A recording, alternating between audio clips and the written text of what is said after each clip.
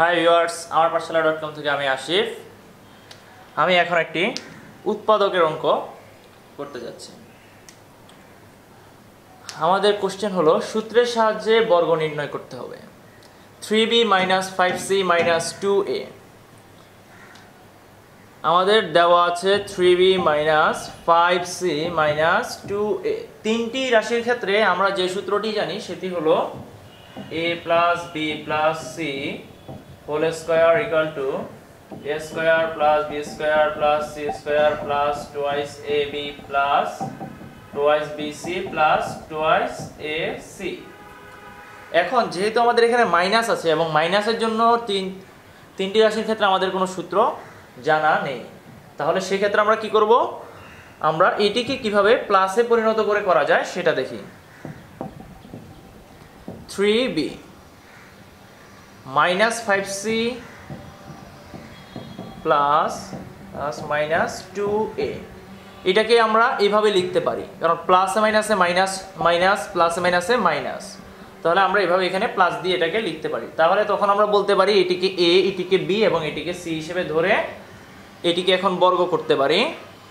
এটিকে যদি আমরা বর্গ করি, তাহলে কি হয়? Three B plus minus five C plus minus two A square এখন আমরা যদি এটিকে এ বি এবং সি তাহলে আমাদের সূত্র মতে A square plus B square plus C square তাহলে three B square plus minus five C square plus minus two A square plus twice A B, আমরা জানি এটা এ এবং এটা বি। আমরা ধরেছিলাম এটাকে এ, এটাকে বি এবং এটাকে সি হিসেবে। তাহলে twice A B two A into B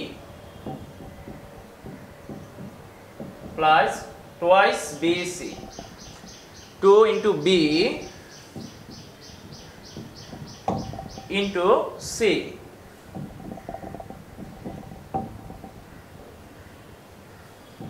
Then twice AC 2 A, C. তাহলে এখন আমরা এগুলোর মান বের করলে কি পাই?